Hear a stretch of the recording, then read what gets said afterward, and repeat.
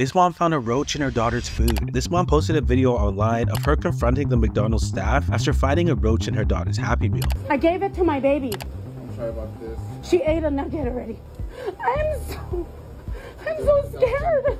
But instead of getting support online for her reaction, she ended up getting criticized in the comment. People accused her of overreacting or even planting the roach for attention, and others were telling her that it's not that serious because every restaurant has roaches. Some even criticized her for feeding her daughter fast food, suggesting that the roach could be from her car. She tried to defend herself by showing how clean her home is and explaining that her daughter doesn't usually eat fast food.